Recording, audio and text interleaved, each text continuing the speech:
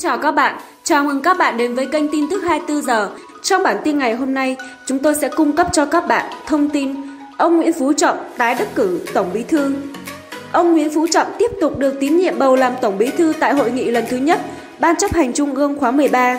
Ngày 31 tháng 1 tại hội nghị lần thứ nhất Ban chấp hành Trung ương khóa 13, ông Nguyễn Phú Trọng tiếp tục được tín nhiệm bầu giữ cương vị Tổng Bí thư Ban chấp hành Trung ương Đảng Cộng sản Việt Nam. Với việc tái đắc cử lần này, ông Trọng là người được tín nhiệm bầu giữ chức Tổng Bí thư tại ba nhiệm kỳ 11, 12 và 13. Ông cũng là một trong hai trường hợp đặc biệt ở cấp Bộ Chính trị tái cử Ban chấp hành Trung ương khóa mới cùng Thủ tướng Nguyễn Xuân Phúc.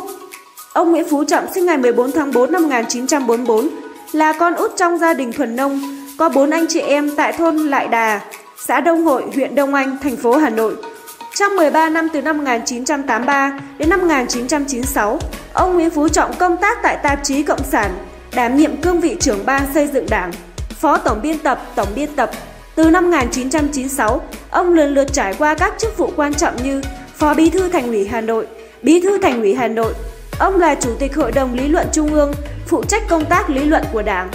Năm 2006, ông Nguyễn Phú Trọng được bầu làm Chủ tịch Quốc hội năm 2011 Ông được bầu làm Tổng Bí thư. Trong năm đầu tiên của nhiệm kỳ, Tổng Bí thư Nguyễn Phú Trọng tập trung công tác xây dựng chỉnh đốn đảng, tăng cường sự lãnh đạo của đảng như việc đề ra nghị quyết Trung ương khóa 11. Một số vấn đề cấp bách về việc xây dựng đảng hiện nay. Chống tham nhũng cũng là ưu tiên hàng đầu của ông Tổng Bí thư Nguyễn Phú Trọng. Ban Nội chính Trung ương được tái lập, nhiều vụ án tham nhũng kinh tế lớn được làm rõ, xét xử nghiêm minh. Hàng loạt cán bộ cấp cao, kể cả ủy viên Bộ Chính trị, Ủy viên Trung ương bị kỷ luật và xử lý hình sự. Phòng chống tham nhũng và xây dựng chỉnh đốn đảng là dấu ấn đậm nét trong những nhiệm kỳ mà ông Nguyễn Phú Trọng làm Tổng Bí thư. Trên cương vị trưởng ban chỉ đạo Trung ương về phòng chống tham nhũng, ông nhiều lần khẳng định quyết tâm chống tham nhũng, không có vùng cấm, không có ngoại lệ. Ai không làm thì đứng sang một bên. Mời các bạn đã quan tâm theo dõi, nhớ bấm đăng ký kênh và theo dõi những video tiếp theo của chúng tôi nhé.